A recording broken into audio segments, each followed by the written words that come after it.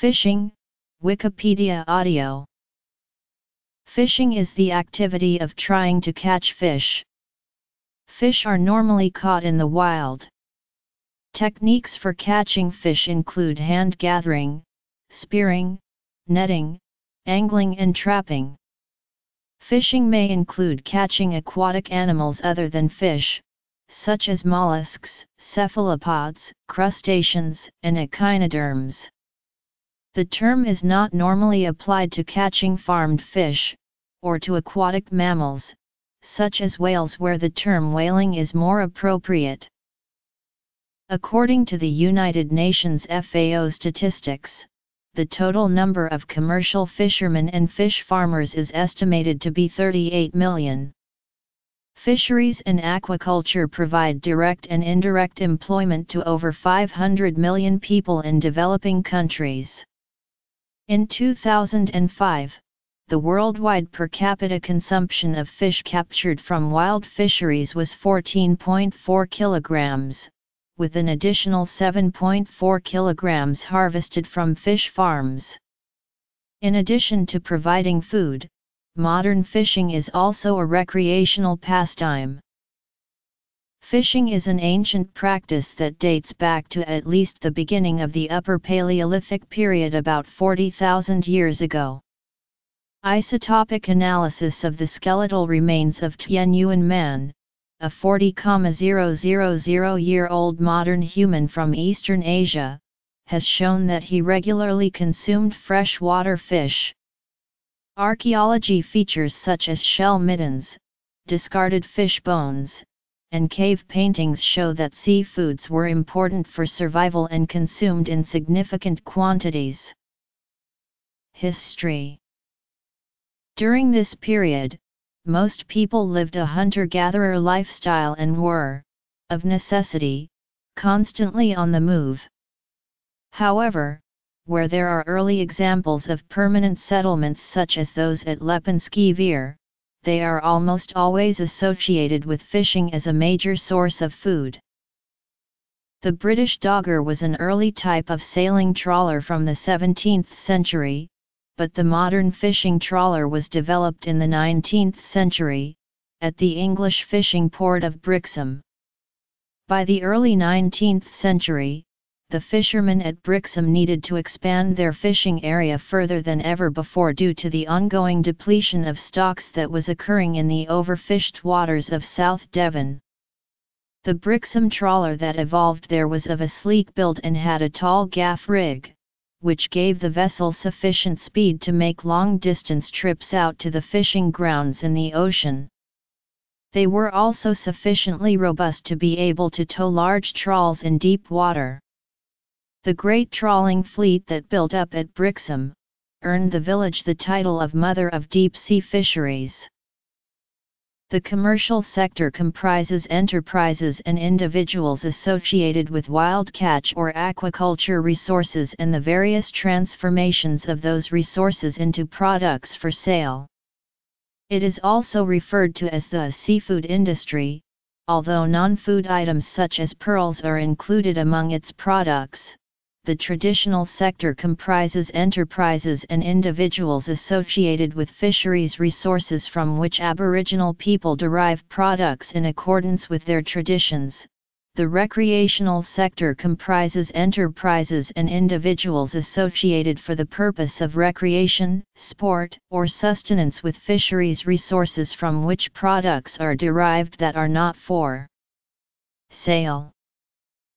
This revolutionary design made large-scale trawling in the ocean possible for the first time, resulting in a massive migration of fishermen from the ports in the south of England, to villages further north, such as Scarborough, Hull, Grimsby, Harwich, and Yarmouth, that were points of access to the large fishing grounds in the Atlantic Ocean.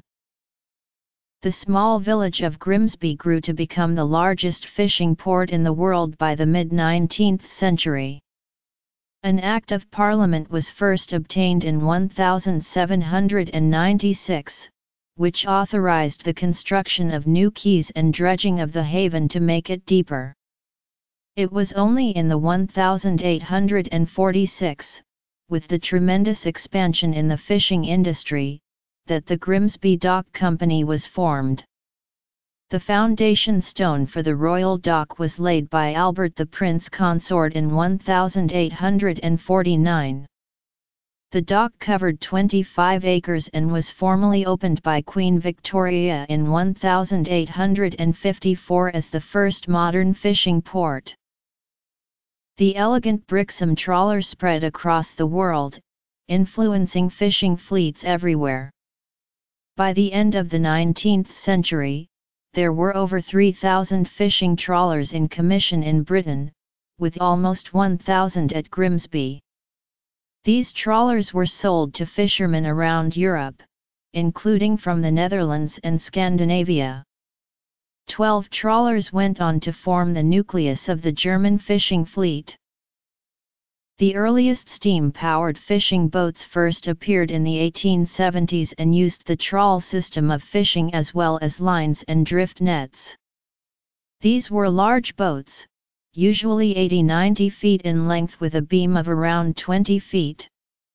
They weighed 40 to 50 tons and traveled at 9-11 knots.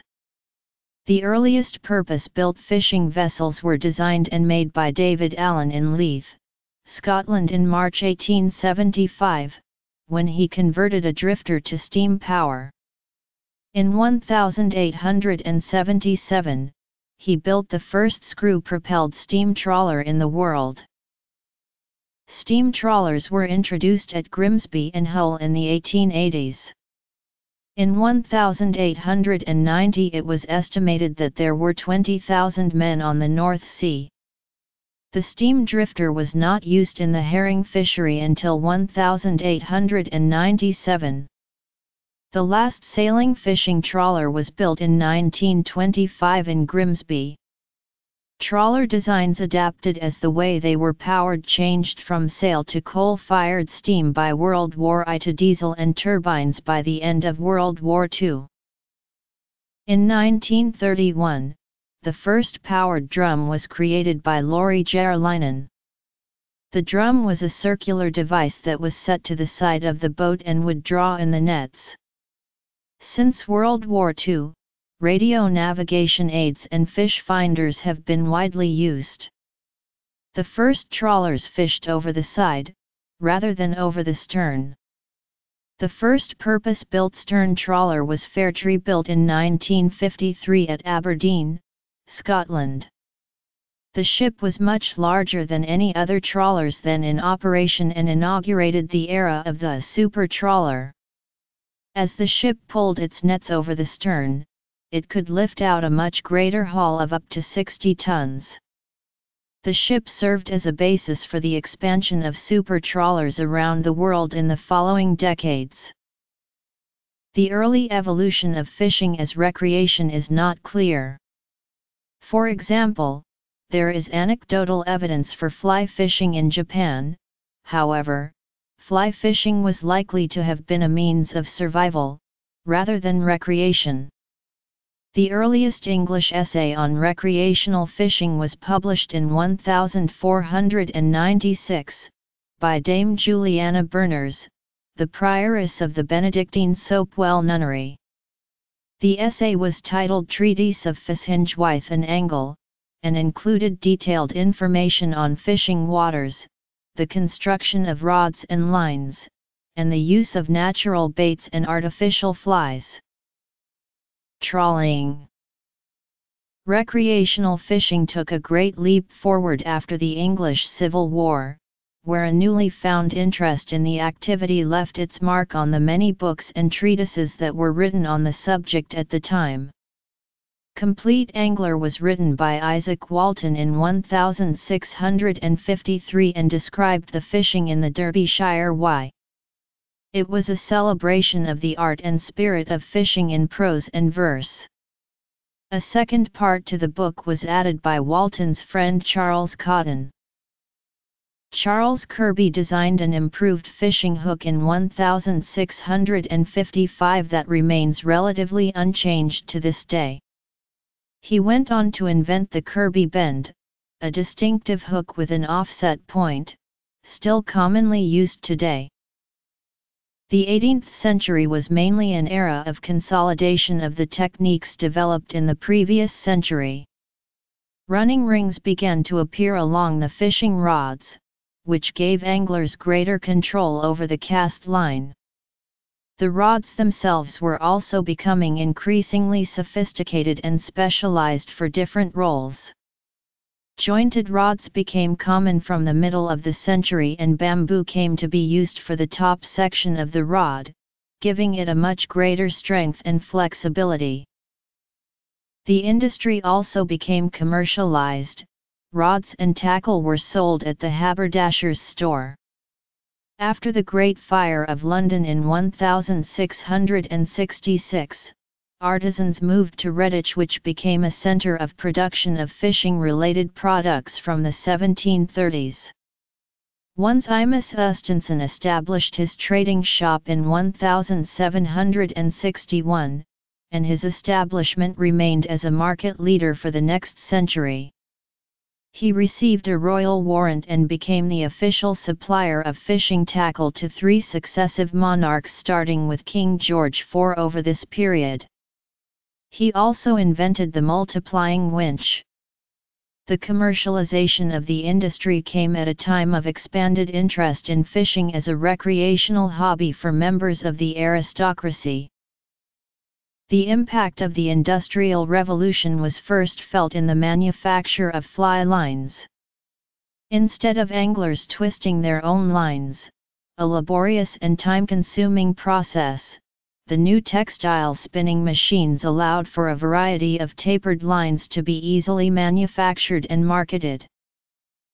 British fly fishing continued to develop in the 19th century, with the emergence of fly fishing clubs, along with the appearance of several books on the subject of fly tying and fly fishing techniques.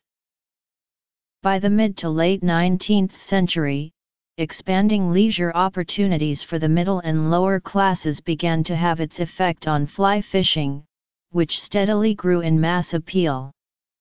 The expansion of the railway network in Britain allowed the less affluent for the first time to take weekend trips to the seaside or to rivers for fishing richer hobbyists ventured further abroad.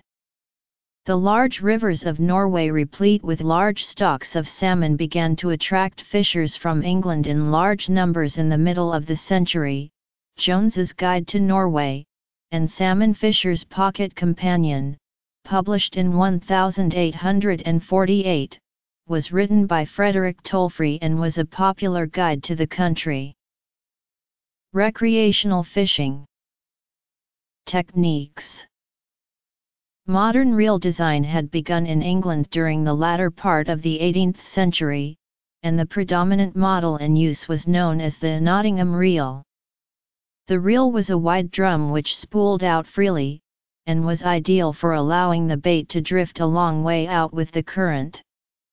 Geared multiplying reels never successfully caught on in Britain, but had more success in the United States, where similar models were modified by George Snyder of Kentucky into his bait-casting reel, the first American-made design in 1810. Tackle. Fishing vessels. Traditional fishing.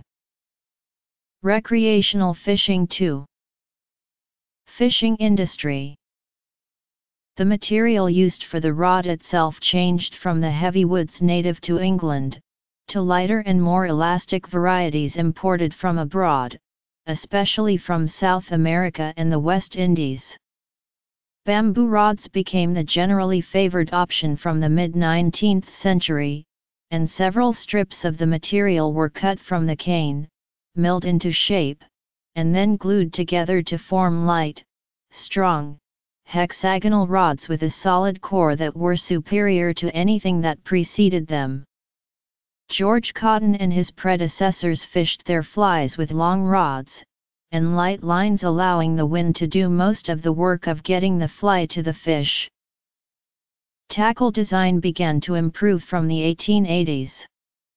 The introduction of new woods to the manufacture of fly rods made it possible to cast flies into the wind on silk lines, instead of horsehair. These lines allowed for a much greater casting distance. However, these early fly lines proved troublesome as they had to be coated with various dressings to make them float and needed to be taken off the reel and dried every four hours or so to prevent them from becoming waterlogged. Another negative consequence was that it became easy for the much longer line to get into a tangle, this was called a tangle in Britain, and a backlash in the US. This problem spurred the invention of the regulator to evenly spool the line out and prevent tangling. The American, Charles F. Orvis, designed and distributed a novel reel and fly design in 1874, described by reel historian Jim Brown as the benchmark of American reel design, and the first fully modern fly reel. Commercial fishing Albert Illingworth, first Baron Illingworth a textiles magnate, patented the modern form of fixed spool spinning reel in 1905. When casting Illingworth's reel design, the line was drawn off the leading edge of the spool, but was restrained and rewound by a line pickup, a device which orbits around the stationary spool.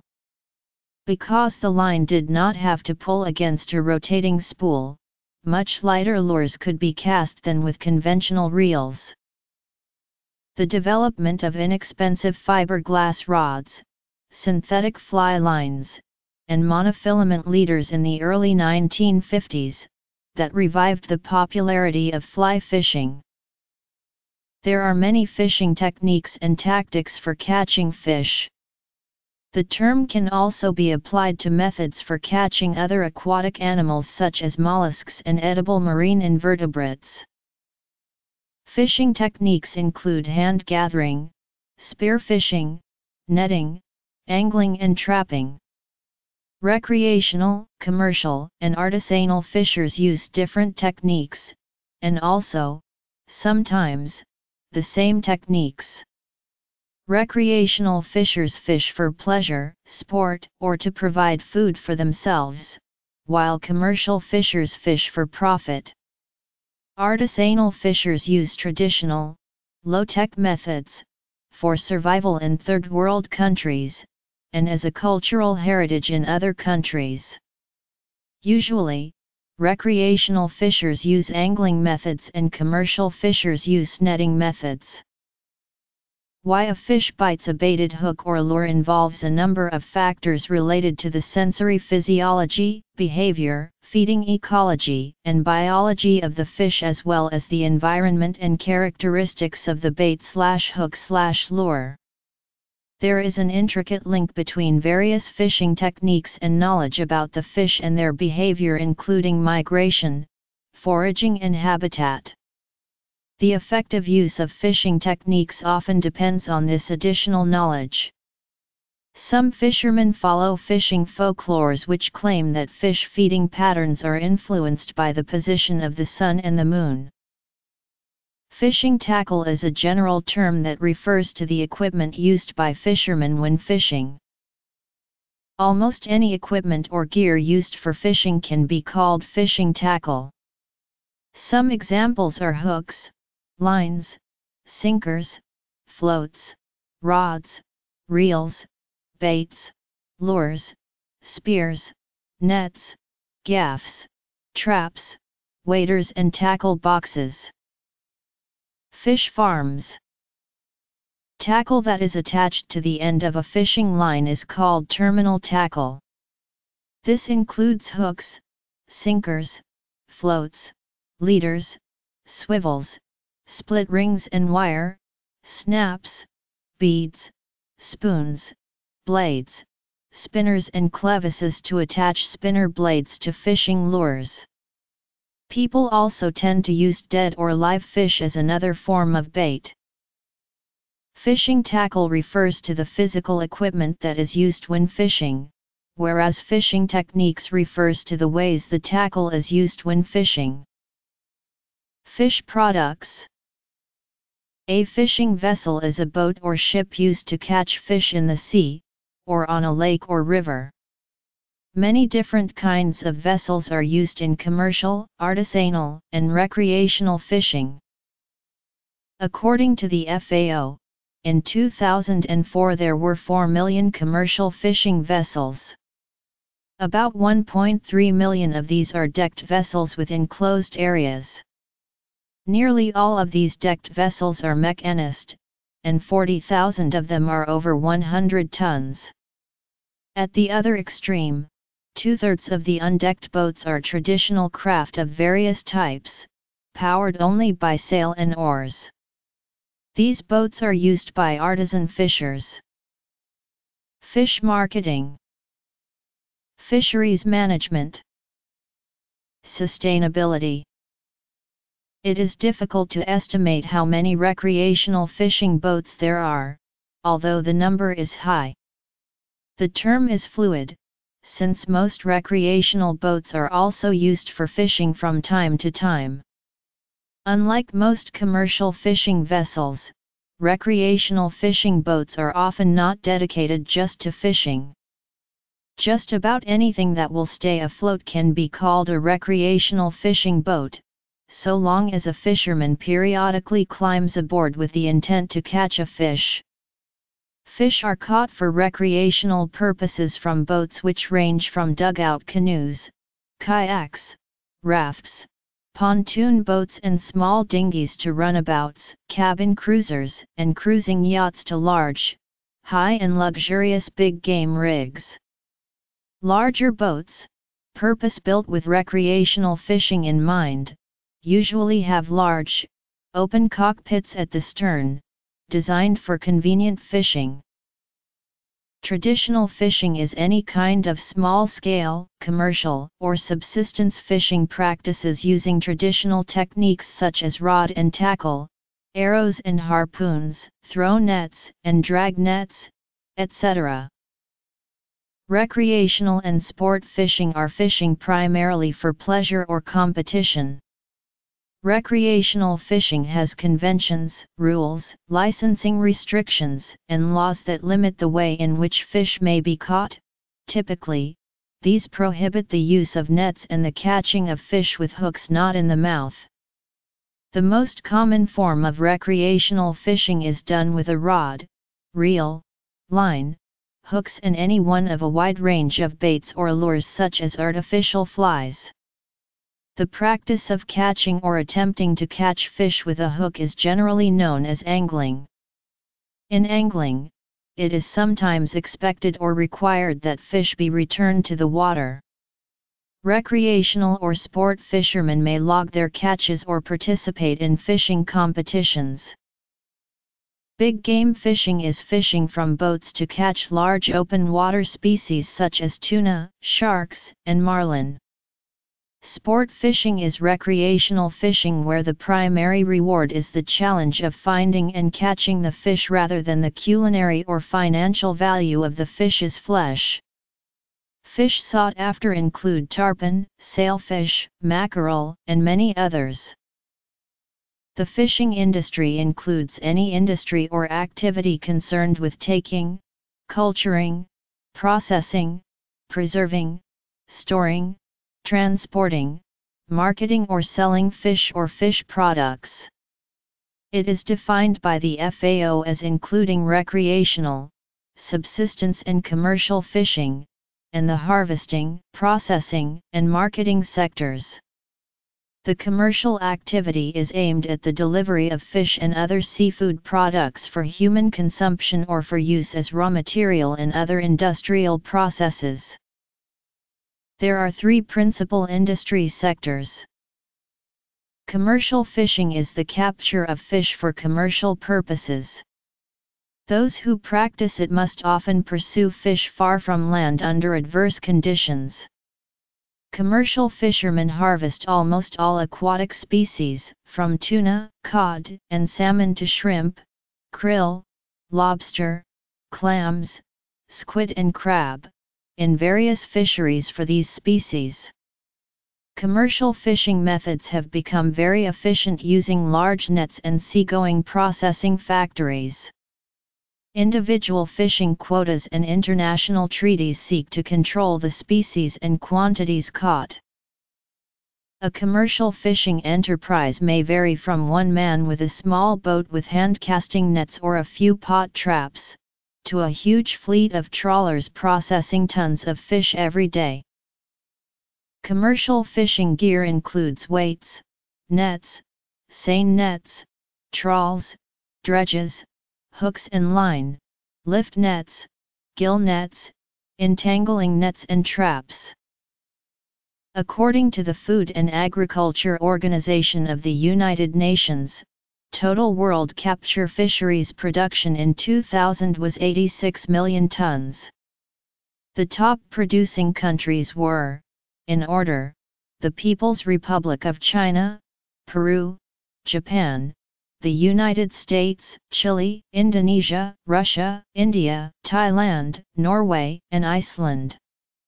Those countries accounted for more than half of the world's production, China alone accounted for a third of the world's production. Of that production, over 90% was marine and less than 10% was inland. A small number of species support the majority of the world's fisheries.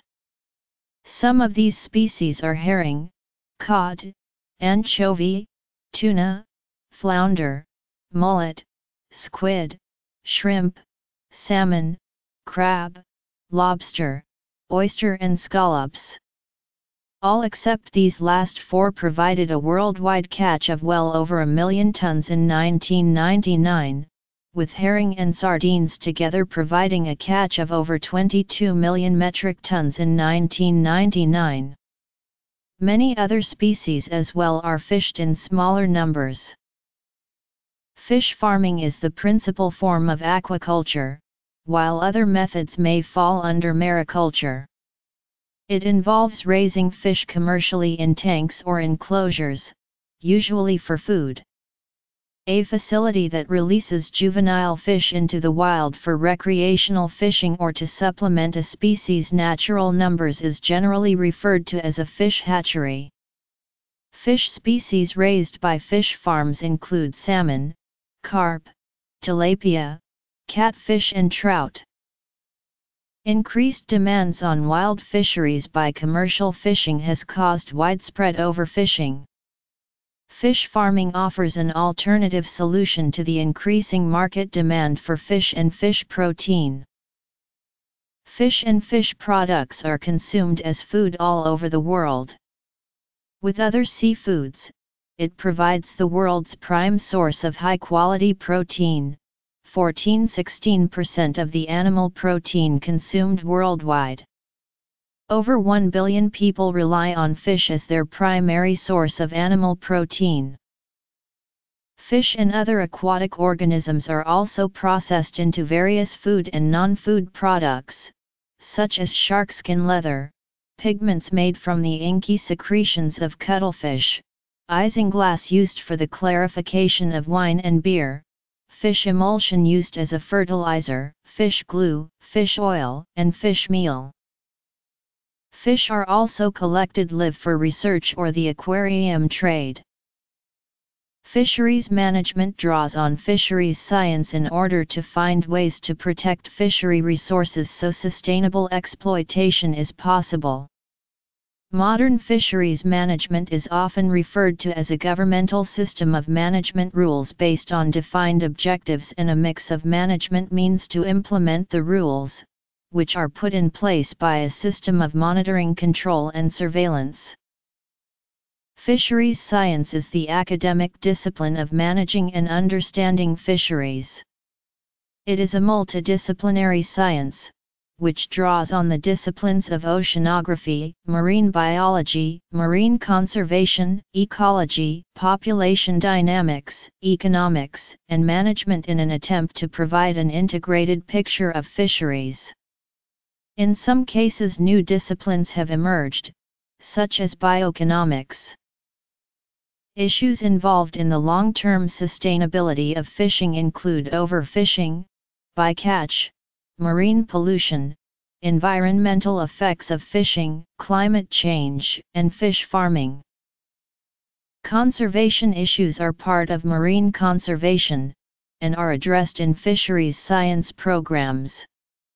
There is a growing gap between how many fish are available to be caught and humanity's desire to catch them, a problem that gets worse as the world population grows. Similar to other environmental issues, there can be conflict between the fishermen who depend on fishing for their livelihoods and fishery scientists who realize that if future fish populations are to be sustainable then some fisheries must limit fishing or cease operations. Historically, some doubted that fish could experience pain. Laboratory experiments have shown that fish do react to painful stimuli in a similar way to mammals.